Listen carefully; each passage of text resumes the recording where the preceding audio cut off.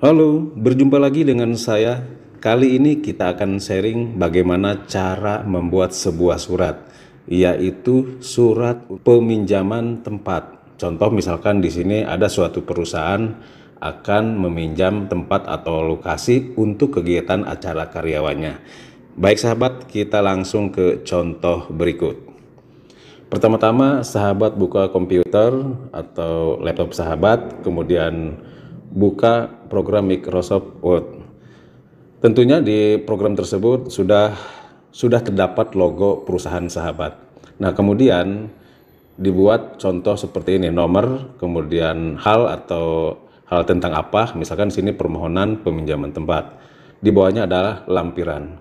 Kemudian di bawahnya lagi setelah spasi dibuat kepada yang terhormat Ketua RT 002, ini contoh sahabat ya, RW 004, Desa Kelurahan misalkan Ciracas, Kecamatan Ciracas, Jakarta Timur, di tempat.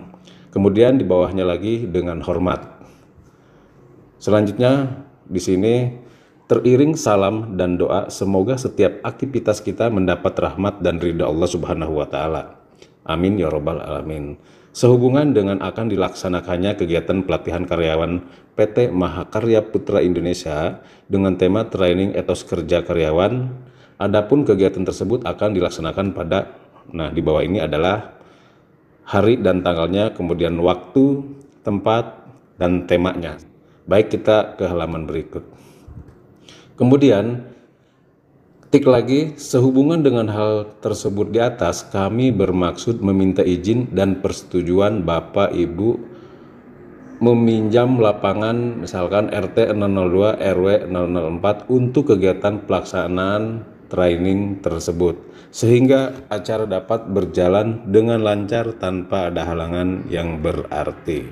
Kemudian di bawahnya semoga Bapak Ibu Ketua RT 002 RW 004 dapat mempertimbangkan dan menyetujui pengajuan permohonan ini. Demikian permohonan ini kami sampaikan. Semoga Bapak Ibu dapat mempertimbangkan dan menyetujuinya.